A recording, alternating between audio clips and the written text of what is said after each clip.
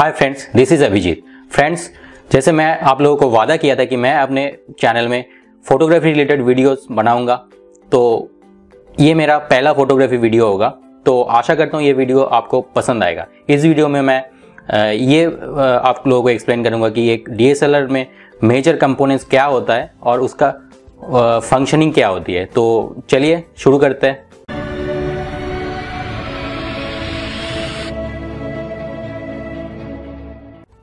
तो फ्रेंड्स, हम लोग अगर एक डीएसएलआर के नेकेड बॉडी को देखें विदाउट लेंस तो कुछ इस तरह के दिखेगा और इस, इसमें डिफरेंट कंपोनेंट्स आपको दिख रहा है।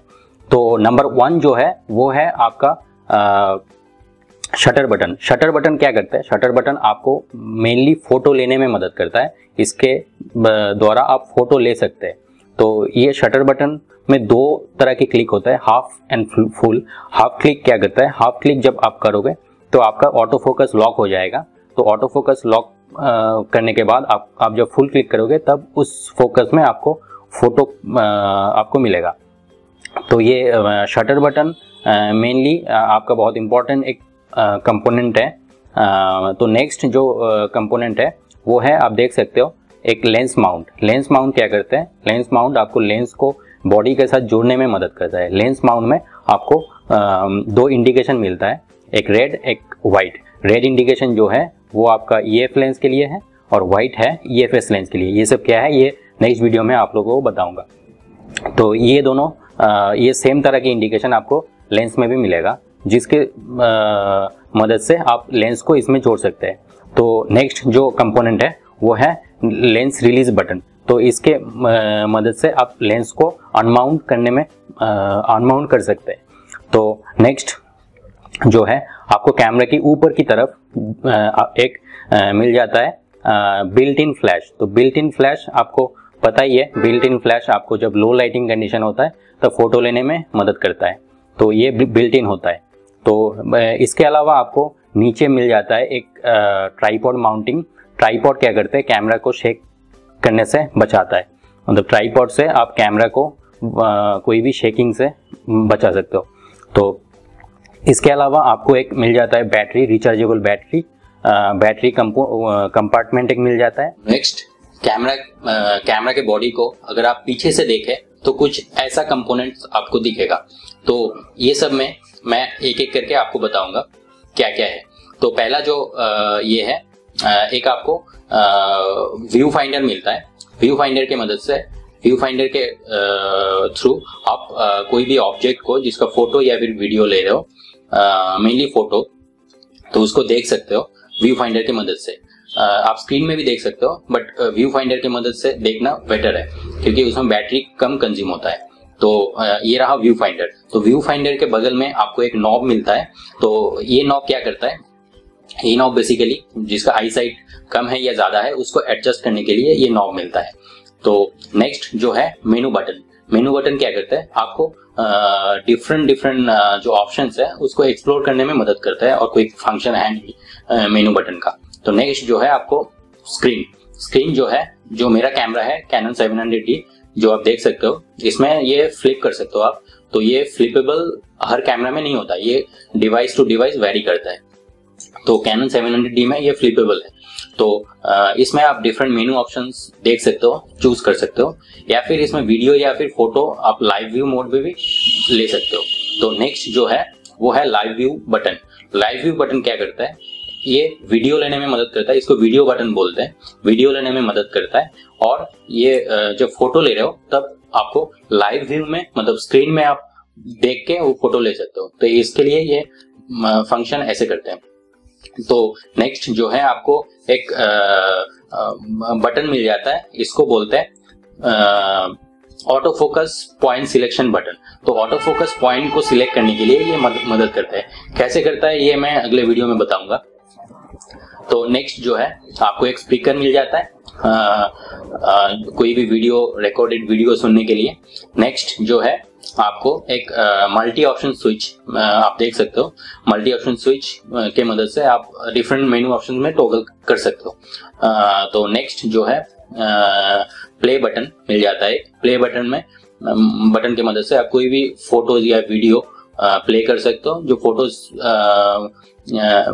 कैमरे में जो फ़ोटोज़ लिए हो वो आप देख सकते हो प्ले बटन की मदद से। तो नेक्स्ट जो है कि इरेज बटन मिलता है।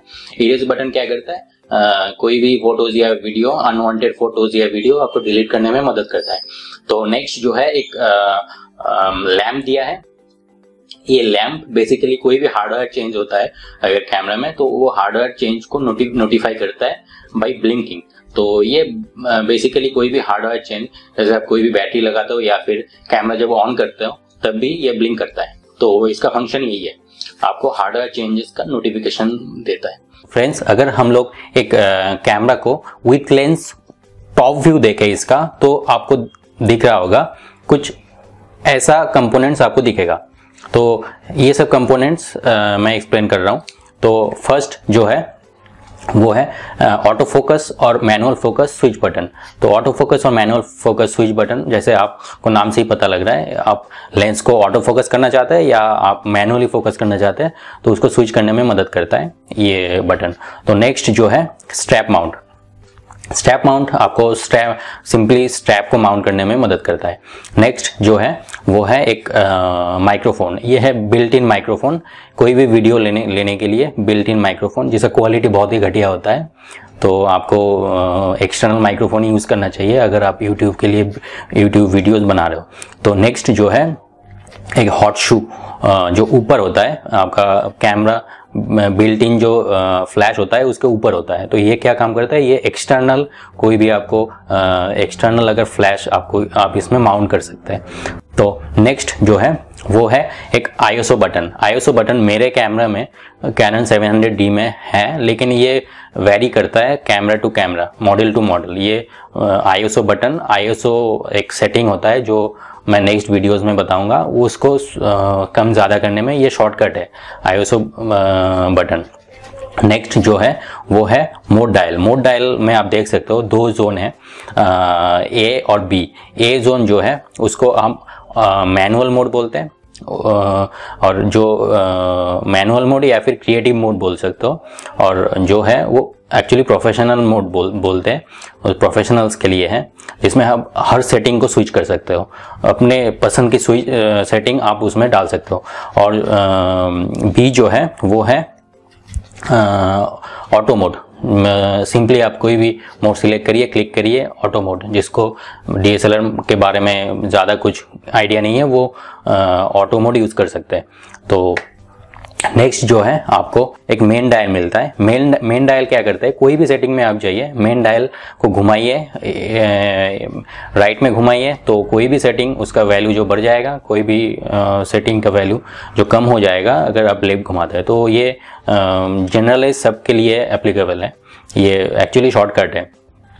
तो नेक्स्ट जो है आ, वो है एक आ, आपको लेंस में एक बीच में लंबा सा रिंग मिलता है।